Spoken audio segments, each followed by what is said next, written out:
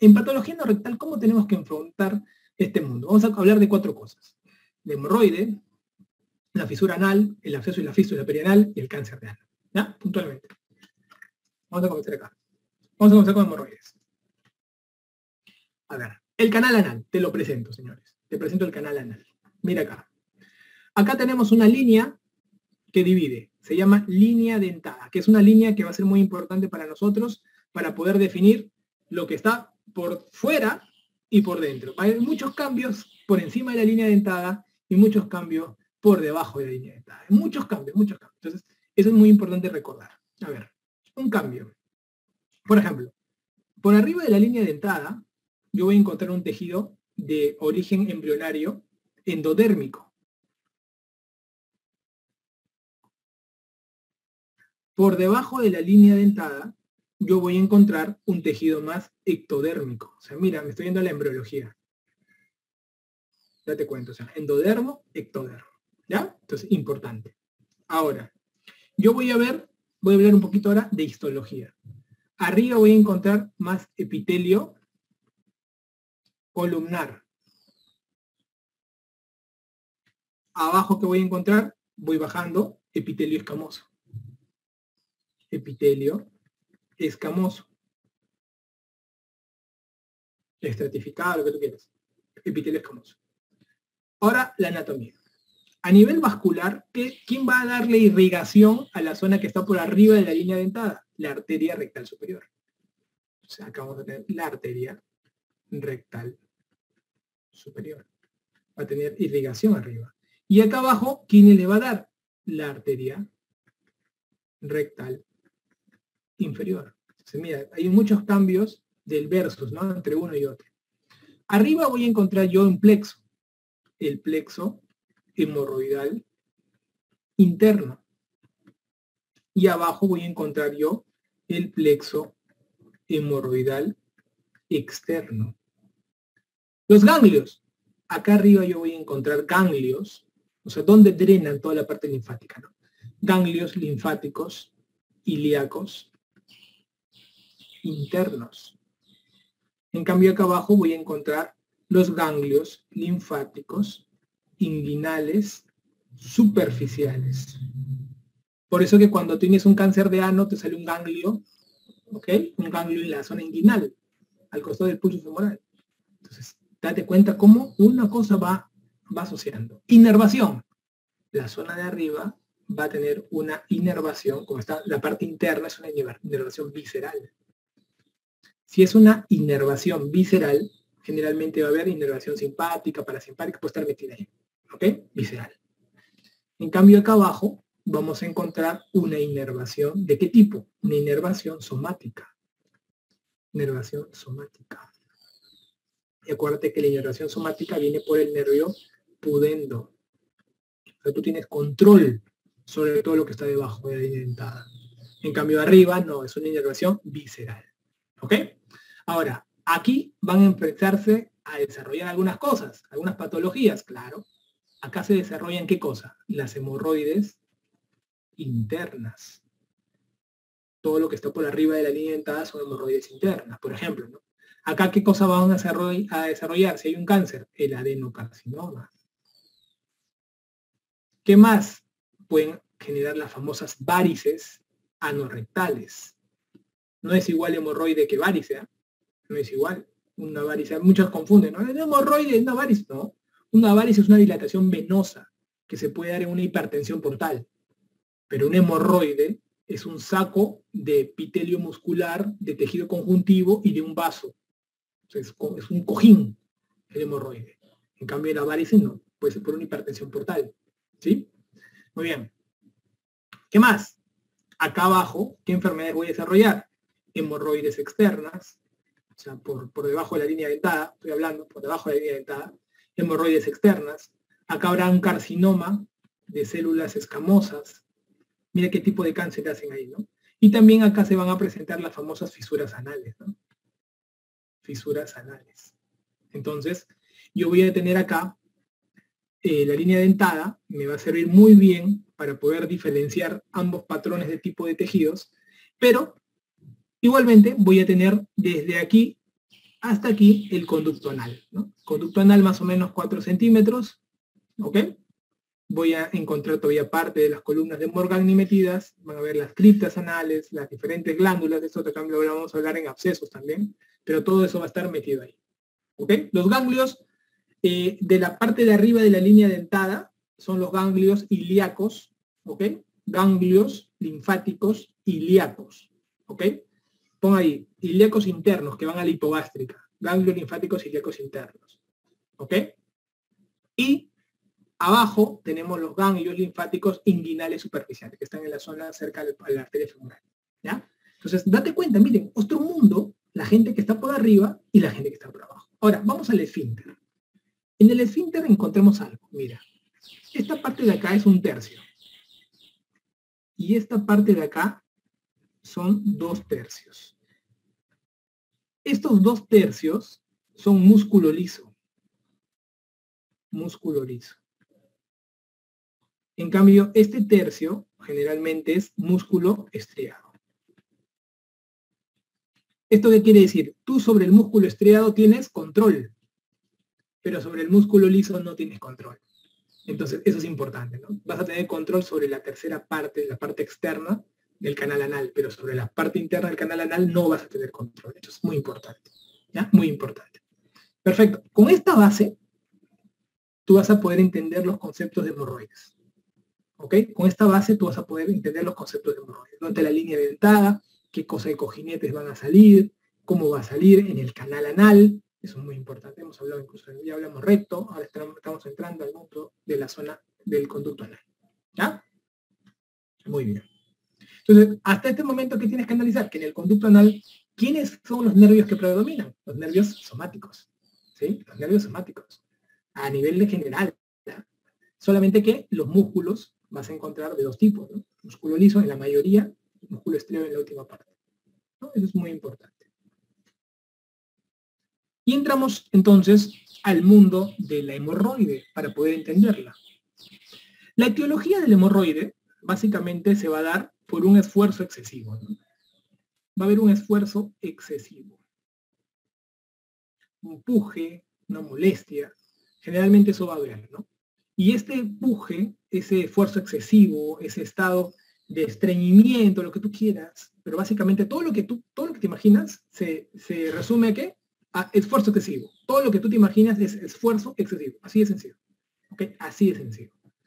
Y esto, este hemorroide puede ser una hemorroide interna o una hemorroide externa. Date cuenta, miren. Vamos a ponerlo aquí en grande, chicos. Una hemorroide interna o una hemorroide externa. ¿Y esto por qué es importante? Porque la hemorroide es un vaso, hay tejido conjuntivo laxo y también vamos a encontrar que hay pliegues, ¿no? pliegues, o sea, vasos, tejido conjuntivo laxo, músculo liso infiltrado, que dan una sensación de pliegue, ¿no? Entonces, interesante. Estos pliegues, ya sabemos que esto es interno, porque está arriba de la línea pectínea, entonces esto puede salir. En cambio, acá en la externa también puede salir.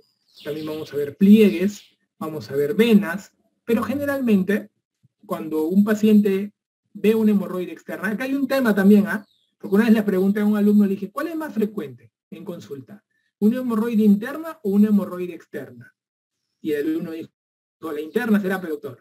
Entonces yo le dije, en la consulta que más vemos es la externa. ¿Por qué? Porque es lo que tú ves. Una, paciente nunca llega por hemorroide interna. Pero si dice, doctor, mira, va a salir una cosa acá, un bulto, es una hemorroide externa. Pero la mayoría de los pacientes tiene interna, pero es infradiagnosticada. Infradiagnosticada. Entonces una pregunta sería, ¿cuál es lo que más diagnostica en un consultorio? La externa externa. Pero, ¿cuántos, ¿cuántos infradiagnósticos debe tener la interna? Porque hay un montón de interna, pero es bueno que sopas esos detalles. ¿ya? Sobre un tema de estadística, digamos, en el tema de, cómo, lo, cómo, lo, cómo lo terminas definiendo. ¿no? Muy bien. Entonces, en la teología está el esfuerzo excesivo, eso es, lo que va a ocurrir aquí. Eh, hay un esfuerzo excesivo, hay una sensación de, de pues, estreñimiento, y el paciente va a venir por una clínica llamativa. Una clínica llamativa y esta clínica llamativa, porque el diagnóstico, señores, el diagnóstico es clínico. O sea, qué importante es la clínica. El diagnóstico en hemorroides clínico. Entonces, ¿qué ocurre acá con mi amigo? te va a decir, ¿no? Doctor, este, yo he tenido un sangrado, te voy a decir, porque estoy pujando. Me siento mucho rato en el baño. Todo lo que tú veas, sentarse mucho rato en el baño, estar pujando, todo lo que tú quieres es esfuerzo excesivo. Todo, todo lo metes ahí, esfuerzo excesivo. Entonces el paciente viene con una clínica. La clínica es la base del diagnóstico. Yo te, para que tú puedas entender este, todo el proceso, ¿ok? Es importante que tú entiendas un dato clave. Hemorroides. ¿Ok? Hemorroides. Yo te lo he puesto así, te lo silabeo, para que tú te permita a ti poder tomar una decisión. Por ejemplo, E es el grado 1. ¿Ok? Grado 1. En el grado 1, ¿qué vamos a ver? Hemorragia. Eso es muy importante. ¿Ok? En el grado 2, ¿qué vemos? Vemos que se reduce espontáneamente. Entonces yo le digo movimiento. O sea, tengo una bolita que me sube y me baja, para te acuerdes de movimiento. ¿Ok? Movimiento. El grado 3 viene con qué? Con reducción manual. Entonces le pongo doble man, doble R, ROI, para acordarme de la reducción manual, dos manos. ¿no? Entonces acá hay reducción manual para que te acuerdes, reducción manual. Y des que está todo destruido, o sea, no se puede reducir. Está persistente. ¿Ok? Está todo destruido, para que te acuerdes.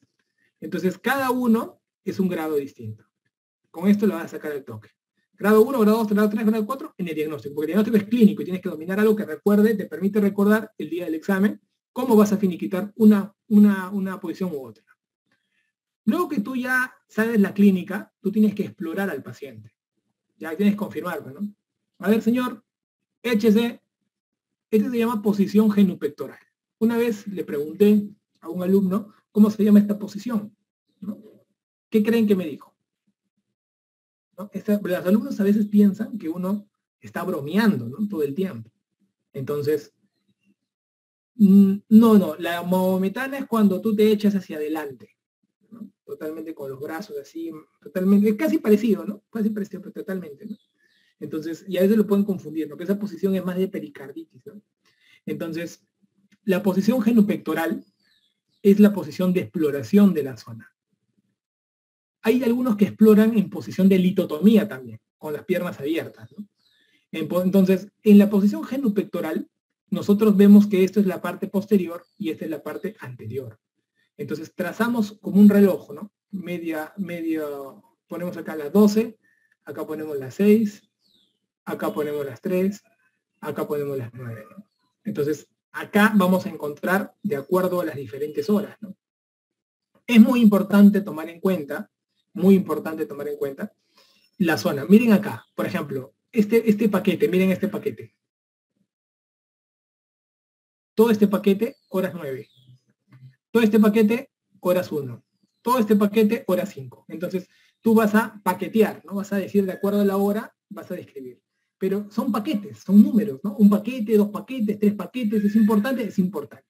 Esto lo vas a hacer mediante una exploración, Normalmente, esta exploración de acá, la clínica, lo haces primero con el tacto, ¿ok? Si el tacto no es concluyente, si el tacto no es concluyente, tienes que hacer qué cosa? Anoscopía. Anoscopía. O sea, si el tacto no te da el diagnóstico, tienes que hacer anoscopía. Y si la anoscopía, tú ves que tienes, no sé, algo te tinca, que tienes que descartar algún componente neoplásico, puedes trabajar, o sea, una proctocolona, o sea, ver recto y colon, ¿no? Puedes hacer una proctocolona. ¿Ok? O sea, un paciente por ejemplo, de 40 años, mayor de 40 años, que me debute con un sangrado hemorroidal, yo le voy a decir, está bien, puede ser un hemorroide, sí es verdad, porque paras entrar en el baño, para salir. Pero podría ser un cáncer, te digo. Entonces, primero le hago un tacto, sí, confirmo, sí, parece que sí. Hacemos una anoscopía en, el consultorio y luego de eso dice, sí, mira, acá están los, paquetes. Y luego de ello, ¿qué es lo que se tiene que hacer? Pues no sé, tiene más de 40 años, no es que también hay un cáncer ahí, ¿no? Entonces le puedes pedir una proctocolono. Eso ya depende mucho del criterio clínico de ese momento.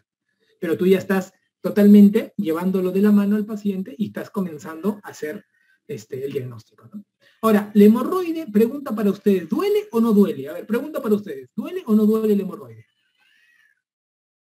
¿Qué dicen? ¿Duele o no duele? Yo he hablado de hemorragia, pero no he hablado de dolor.